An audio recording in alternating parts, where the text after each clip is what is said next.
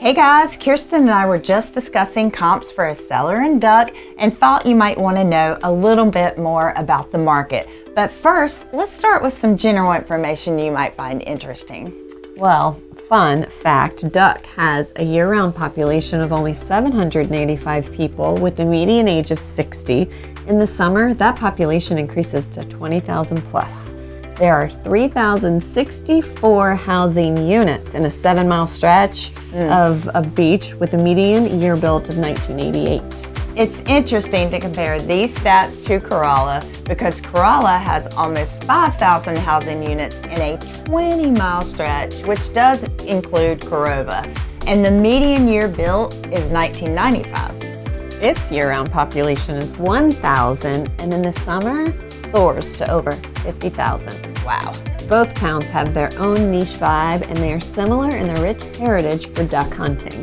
Duck got its name in the 1900s due to the popularity of duck hunting on the Outer Banks. We would have had a blast back then. A little bit of trivia.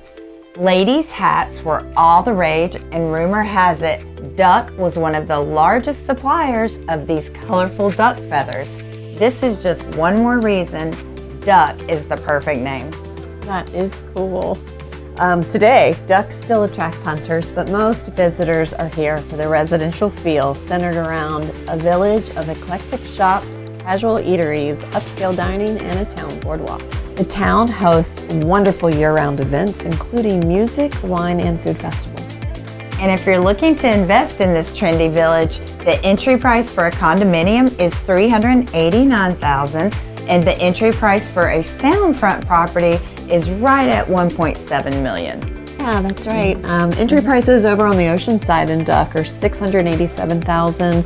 Oceanfront properties starting around 1.7 all the way up to 4,750.